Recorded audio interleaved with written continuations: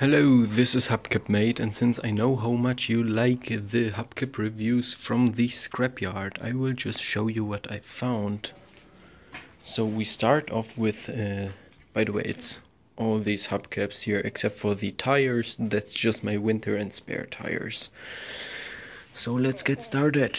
My favorite aftermarket. Yes, I think this looks quite much like the typical aftermarkets you could get in the United States, like in the 90s or something.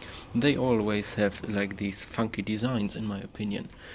Next one is this aftermarket. I just took it because I need to fill up my uh, shopping cart. Yes, so it's complete.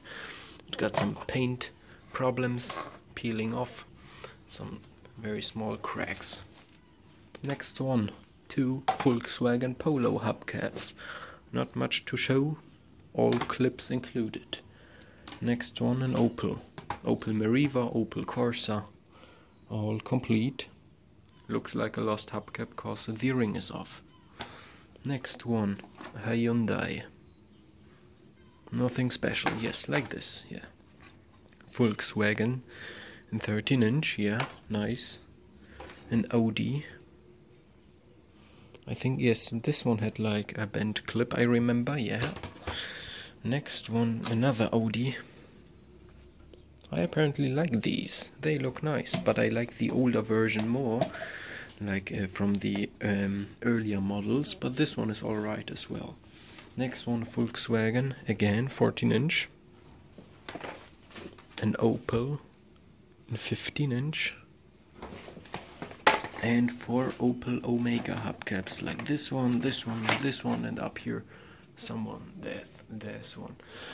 So we get to go ahead with this Daewoo 13 inch Mercedes.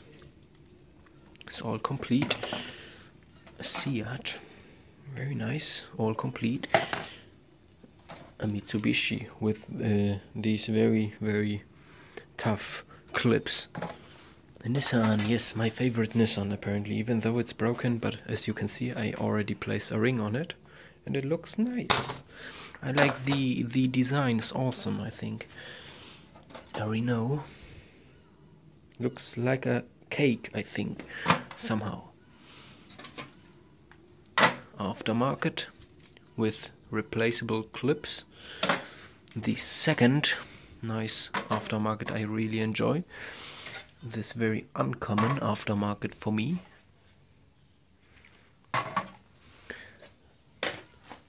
A little bit damaged Opel, no badge, and two missing clips as I already said my uh, scrapyard special video. Then we go ahead with uh, four metal rings, apparently 13 inch.